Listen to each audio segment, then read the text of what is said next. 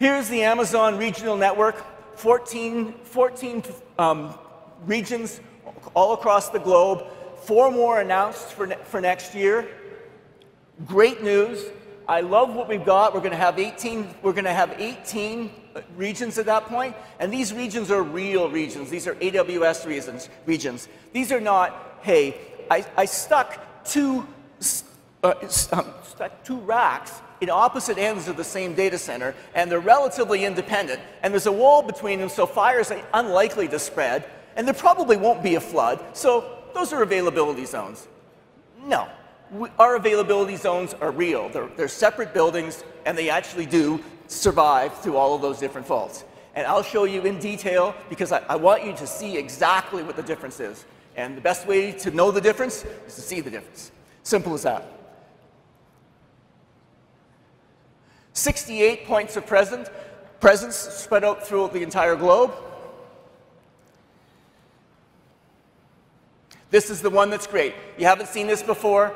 I got a question two years ago saying, does Amazon have a private network? Do, do you deploy uh, private networks? Is there any, do you, do you spend on that? A lot of companies talk a lot about it. Have you considered that? Yeah, we thought about it. that is all 100% Amazon controlled resources. That's AWS. If you're flowing between one region and another, it's flowing on that network. It's, that network is managed by one company. It's not passed from one provider to another transit provider to another interconnection site to another interconnection site. These interconnection sites are wonderful, wonderful, very committed individuals. But my rule is if you've got a packet, the more people that touch it, the less likely it is to get delivered. It's as simple as that. It's, it's just one administrative domain is way better than many administrative domains. And sometimes in the internet, weird things happen, like one company is not getting along exactly with another company and they're trying to work on a contract, and maybe the resources get a little squeezed during that time to kind of rush the contract along. We're not going to do that. So if it's running on our network, it's under our operational control, we give you better quality of service, and we always have assets, we always have assets to be able to survive a fault.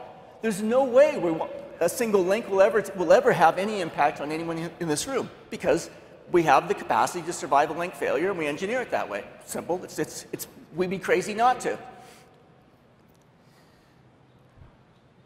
This, by the way, is not just a little tiny 10 gig network. This is a 100 gig network.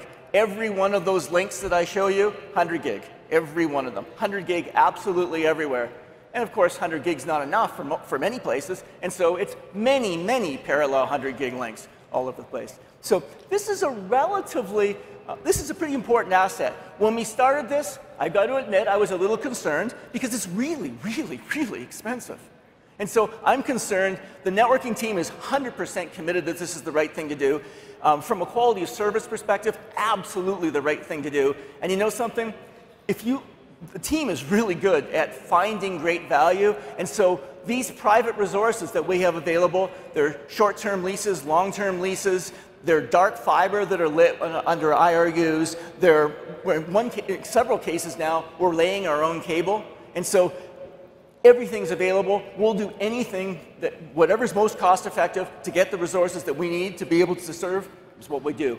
And because we're not religious about there's one true way and we have to it, we get good value.